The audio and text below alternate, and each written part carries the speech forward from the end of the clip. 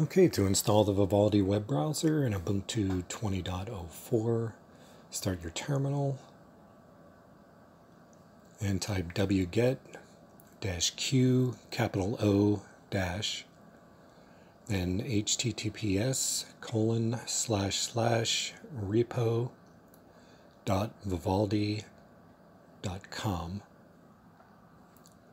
slash archive slash linux underscore signing underscore key dot pub. Then a pipe sudo apt dash key add and then a dash.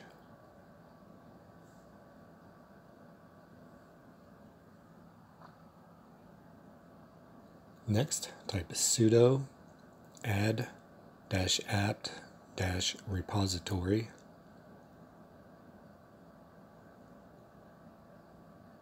An apostrophe deb https colon slash slash repo dot vivaldi dot com slash archive slash deb slash and then a space stable space main apostrophe.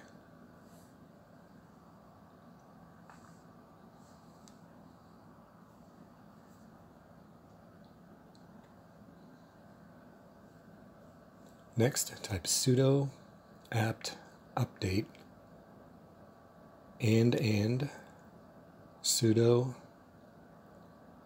apt install Vivaldi dash stable dash y.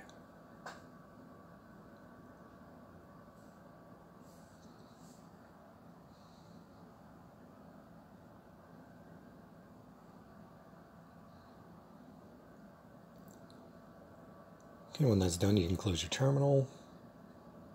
Go to your applications and search for Vivaldi